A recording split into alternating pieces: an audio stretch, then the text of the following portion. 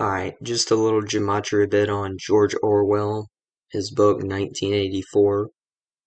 So, a little while back I uploaded a gematria bit just showing how George Orwell equals 1229 in Jewish gematria, which I'll get to the significance of.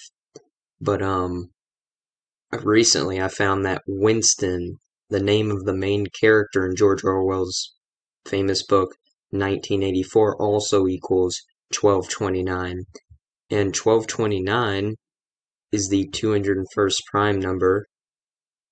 201 big number with the Jesuits, the big number with the Jesuits, and is really probably the number one number to know when it comes to the you know all that I show on my channel. But yeah, I mean, what are you gotta ask yourself? What are the chances?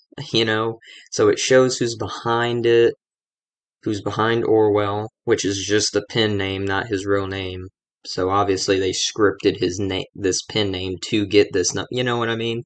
To get this number to fulfill this little ritual. All this goes back to the Jesuits, or the New World Order. So, yeah, that's all I wanted to say. Thank you guys for watching, and I'm out. Peace.